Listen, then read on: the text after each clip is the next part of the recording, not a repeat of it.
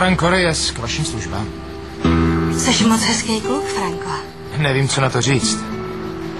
Když vás tady vidím stát před sebou, tak je to pro mě jako krásný sen. Půjdeme Ale kam? daleko. Někam, kde zapomeneme na celý svět a prožijeme ten sen, o kterým mluvíš.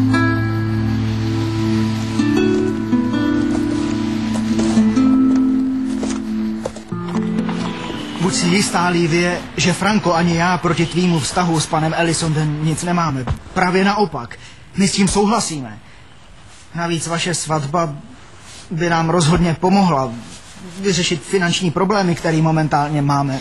Tebe zajímají jedině peníze. Jasně, že jo. Kdo jiný by se o to měl podle tebe starat? Hm? Juan sice dře jako mezek, to je pravda, ale o financích nemá ponětí. A Franco teprve. Ten nemyslí hlavou, ale něčím úplně jiným, však víš. Jenže mě peníze vůbec nezajímají. Livie, poslyš, něco ti řeknu. Každý člověk bojuje za svoje vlastní zájmy. Pro tebe je to láska a pro mě jsou to momentálně peníze. Nebo si myslíš, že jsem spokojený s tím, jak žijeme? Musíme přemýšlet dál, do budoucna. Najít způsob, jak se dostat z téhle čtvrti. Pojď sem, Livie. Víš, musíme prostě nějak přesvědčit Juana, aby s tou svatbou souhlasil. Něco nás určitě napadne. Oskare, pane bože, já na Juana rozhodně nic vymýšlet nehodlám. Na to si ho moc vážím. Pak asi nemáš pana Elisonda do stráda. Já ho miluju, abys věděl. A moc ho miluju. Ale to ještě neznamená, že budu právě teď, když se stalo, co se stalo, a já se za to všechno cítím odpovědná, kout pikle, abych se za něj mohla provdat. Livie, pro boha. Franko se ještě nevrátil. Ne, zatím ne. Vážně? Tak ho půjdeme hledat. Ale proč, prosím tě? Protože ještě nikdy nebyl celou noc pryč a ti mizerní lumpové stržiště ho taky klidně mohli zabít. Juane, prosím tě, tohle neříkej. Poslouchejte dobře, synové paní Hortenzie jsou nebezpeční. Ale tak daleko by nezašli. Nemysli hned na nejhorší. Jak znám Franka, tak teď někde leží a nemůže se malem ani pohnout. Cože? Jo, vedle nějaké ženské a je blahem přímo bez sebe.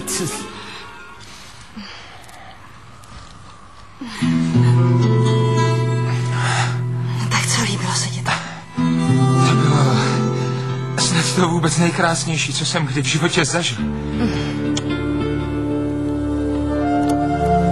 Vážně? Ano. Tak to jsem moc ráda. Ale už nikdy se to nebude opakovat. Proč? Co je? Co se stalo? Hej,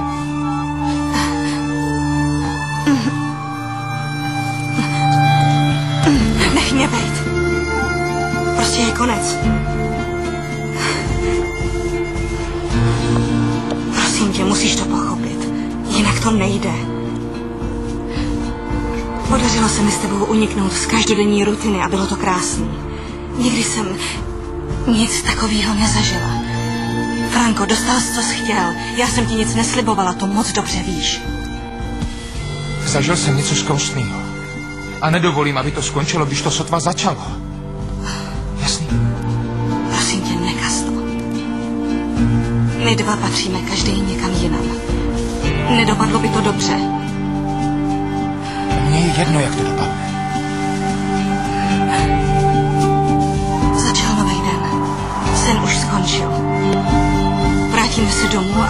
Každý svou cestou. A nesleduj mě. Rosario. Rosario. Rosario! Tak tohle ne. A nechci vůbec nic slyšet. Prosím. Máme problémů až nad hlavu a ty si zmizíš na celou noc a vrátíš se domů až ráno. Už jsem šel málem na policii a nechal tě hledat. Nejsem malý kluk, abys mě v jednom kuse kontroloval. Nic se, nic se mi nestalo. Ale klidně se ti to stát mohlo. Ti mizerové stržiště nevynechají jedinou šanci, aby se porvali. Jestli jsi už skončil, tak já odcházím, protože se potřebuju hlavně vyspat. tak vyspat. Na to velice rychle zapomeň. Žádný spaní. Zbal všechny naše krámy, protože ještě dneska se stěhujem. Aspoň se probereš. to tak. Pán by šel chrápat. No jistě. Já ti dám. Nepůjdeš ani spát, ani balit. Dáš si pořádnou sprchu a oblíkneš se co nejlíp, abys dobře vypadal, protože dneska jdeš na rande s Doňou Eduvinou. S jakou Eduvinou? To je jedna zazobaná bába, která se v tobě vidí. Takže s ní půjdeš na oběd do jedné luxusní Na restaurace. to zapomeň, protože dneska na to nemám v žádným případě náladu. Poslyš, Franko, ta ženská má peněz jak šlupek, je to skvělá šance. A nebylo zrovna snadný ji sehnat. Ne, jsou s tím pokaždý jenom problémy. Když to domluvil posledně, přišel tam manžel a málem mě zabil. Tentokrát problémy nebudou, protože je to vdova a stačí jí jen trocha lásky a pochopení. Vážně? A proč bych to měl dělat zrovna já? Tohle ty určitě zvládneš Já mnohem bych líp. to samozřejmě zvládl, ale problém je, že se ženským nelíbím tak jako ty. Oni jednoduše chtějí jenom tebe. Hele, Franko, ten tvůj ksichtík se musí využít, hm? No, no. Zatím jediný, kdo ho využívá, seš ty. Prodáváš mě jako nějakou couru. Zapomeň na to. Jo? Na žádný rande s vdovou nejdu a už vůbec ne do Nobel podniku, Oskar. Jasně. Ty chodíš jenom do nejhorších pajzlů, brácho. Hele, můžeš mi laskavě říct, kde jsi byl? Co ty boty? Seš jak čuně. To strávil noc ve chlívě, nebo co? Ne. V přírodě se ženou, která se mi líbí. A to s Rosárií. Hů, s Rosárií Montesovou. Jak se zdá, má ještě nižší úroveň, než jsem si myslel.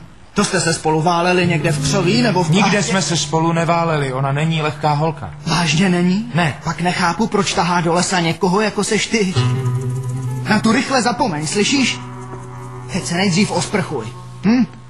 A pak se hezky oblíkni, protože to rande je moc důležitý. Pěkně se učesat, potom se hodit do gala. Učesat a hodit se do gala. Jo. Idiote. Opravdu to myslíte vážně, Done Bernardo? Jistě, že Evo. Nechci už sdílet ložnici se svou ženou. Takže přeneste moje osobní věci do jiného pokoje. Když Doňa Gabriela nebude chtít? Nevím, proč by nechtěla.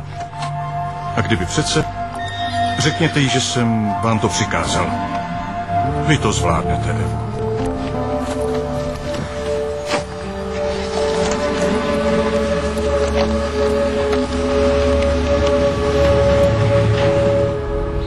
Tohleto manželství skončilo už velice dávno. Zbytek mého života patří jenom tobě, Livie. Ať jsou proti tvoji bratři i celý svět, já jedu za tebou. České znění připravila brněnská soukromá televize, vyrobila FTV Prima společnost s ručením omezeným 2006.